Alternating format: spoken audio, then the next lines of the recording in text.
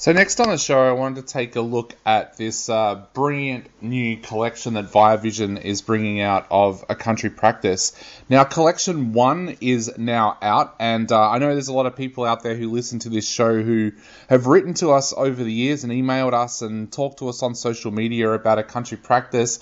As you quite well know, a lot for a lot of people out there, I grew up watching this show, and it was one of the shows that kind of made me want to become a screenwriter myself. So these uh, collections are so so rare to be able to get hold of. So it is absolutely brilliant that Viavision are bringing these out. Now, collection one, as I said, is out now.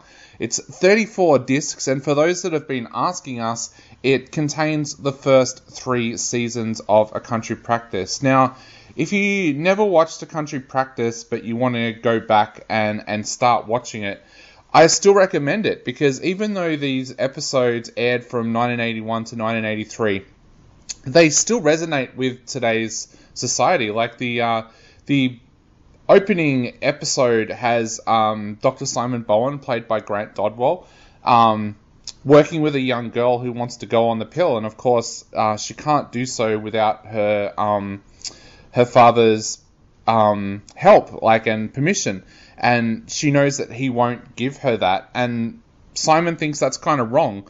So it's kind of funny that even though we talk about um, where we are these days and how society has changed, this show was already talking about those things. And I know a lot of people kind of look back at a country practice and think, oh, it was kind of a daggy show. It actually wasn't. It was a show that actually used to generate people uh, talking about stuff.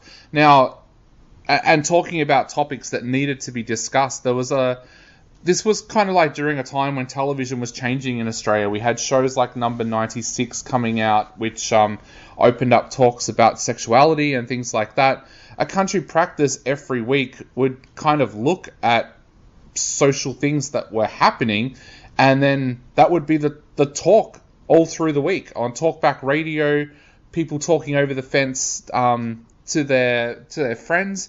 It was a show that changed the way that we saw things. Now, if you're going over the first three seasons, which is what you will get with this um, collection one from Viavision, you're going to meet some of the, the favourite characters. There's Terence Elliott, played by Shane Porteous, who's a doctor.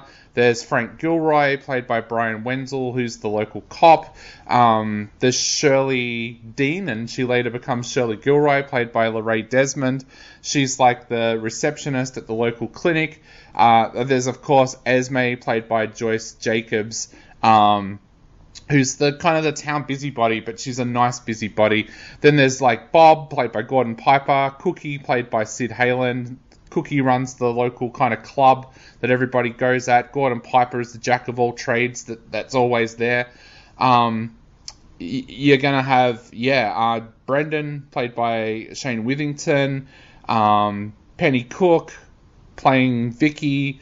Molly, played by Anne Tenney. There's a, there's a cast, there's a huge cast. But I have to admit, the good thing about going back and watching these is that you don't kind of get inundated. If you start just watching episodes as they air on TV as a as a rerun, you're kind of like, man, this show must have had a cast of millions. It actually didn't. It had like a, a pretty steady cast. People came and people um, go. You you will notice that even as you're watching. Um, as you're watching like these uh, these episodes uh, for the show here that um, the the the matron changes. So I think it's about um, season three. You'll see like uh, Joan Sydney come in to play Maggie Sloan, whereas before that we'd um, had another matron there. So yeah, if you actually go back and watch it um, in order, well, as this collection will allow you to do, you'll be able to see the show kind of develop, and I highly recommend it. Now, of course, two of the greatest moments of Australian television uh, happen in this collection as well. For those that out there that have already seen the show, of course, you'll know that one of those storylines revolves around Molly, and it ended up being one of the most watched episodes of any television show uh, in Australian history. Um, I won't spoil it for people out there that haven't watched it. There, there's also the very classic scene that always gets nominated whenever we talk about What are your favourite moments in Australian television? The famous moment of uh, Penny Cook and Grant Dodwell, Simon and Vicky in the mud trying to rescue a calf. Um, that moment is in this collection as well. I don't want to ruin the story too much for people out there that haven't watched it. All I'll say is this is a great opportunity to go back and explore one of the greatest television shows that we've ever seen in Australia. I'm giving collection one of A Country Practice five stars. As Molly Meldrum used to say, do yourself a favor, go out and grab this, and you're going to discover something very, very special.